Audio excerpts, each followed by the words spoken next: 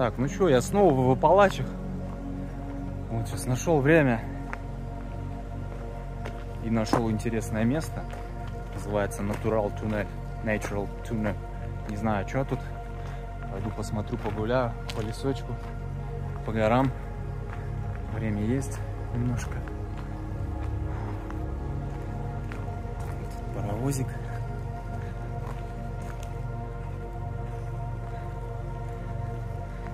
Вот здесь история. Можете заскринить. Пыхтел, тут работал когда-то. О, здесь есть подъемник даже. 5 долларов стоит в одну сторону. Но я пешком пойду.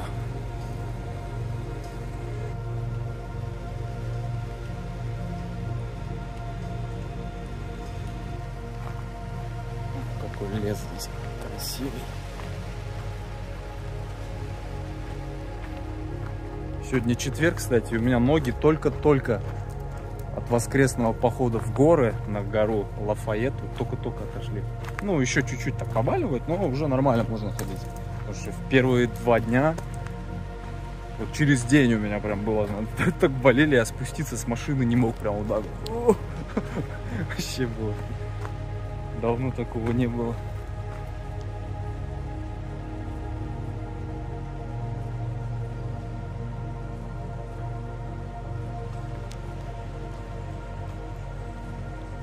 У-у-у. Вот эта стена. Ух ты. Обалдеть, такая закругленная. А внизу железка идет еще. Просто бомба.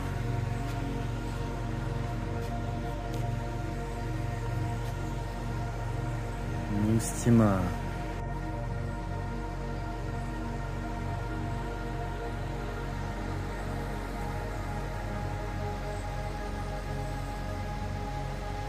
Вот, вот типичные сказания, как во всех народах, что вот э, чисто чувашская сказка, можно сказать, этот Нарспибани.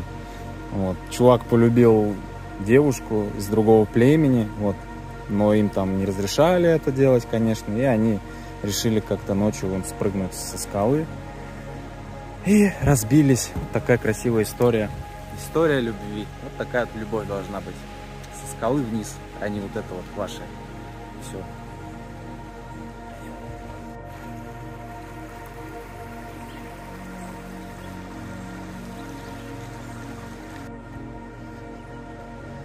Вот железка. Вот здесь туннельчик такой. Класс.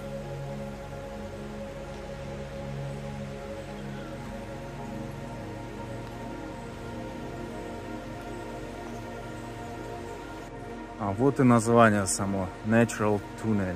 Вот это натуральный туннель, это не прорытый. Вот видно, что ничего, никаких следов нету. Туннель, который размыла река. Вот эта речушечка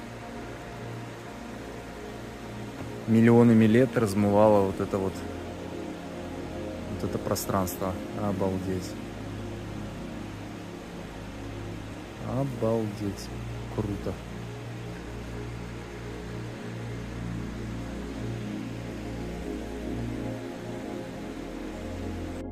Я бы прогулялся бы по шпалам, конечно, в этот туннель.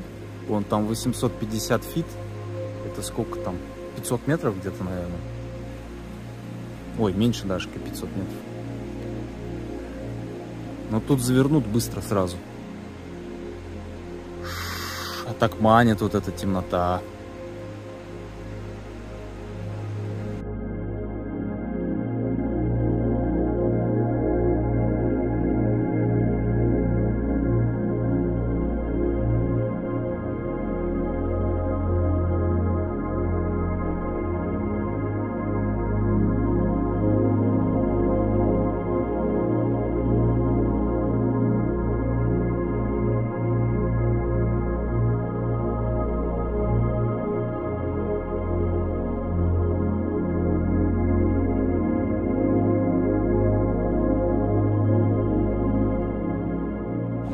Интересно представить, да, вот когда там 10 тысяч лет назад, когда было последнее оледенение, таяли ледники, вот какие были объемы воды. Вот смотришь, да, вот, вот, вот даже вот этот туннель, например, размыло.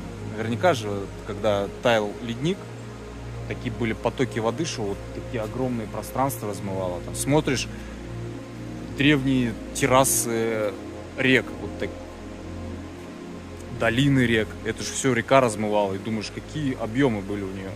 Обалдеть там, когда таял вот этот ледник. Массы воды огромные были, стопроцентно. И посмотреть вот этого интересно, конечно. Может, еще посмотрим на наш век? Но пока леденение вроде не намечается еще. Что будет на наш век, вообще не знаю. Интересно. Интересно. Какие катаклизмы. Выжить бы в какой-нибудь ядерной войне бы еще. Пока столько идиотов на свете. Перспективы, честно, туманные.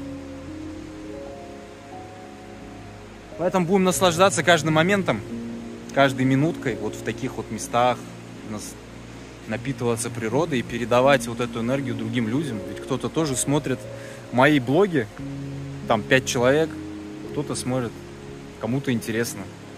Вот, и я стараюсь передавать что-то хорошее. Не всегда, конечно, получается.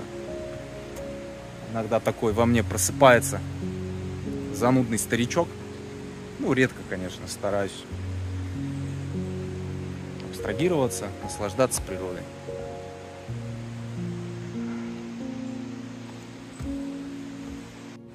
Потому что что, все болезни, все болячки, они все от нервов. С этими работами. Работа стресс в любом случае. Как, как бы она тебе не нравилась, стрессуешь. Вот.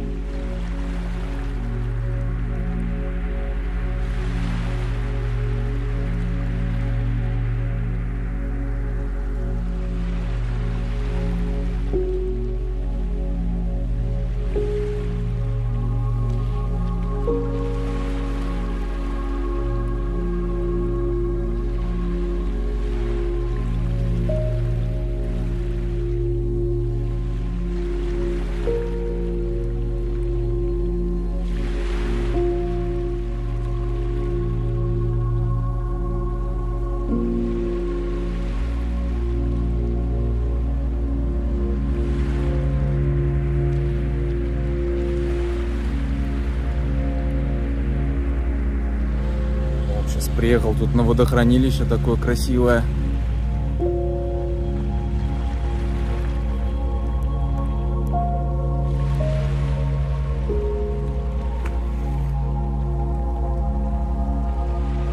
Вода такая бирюза, бирюзовая.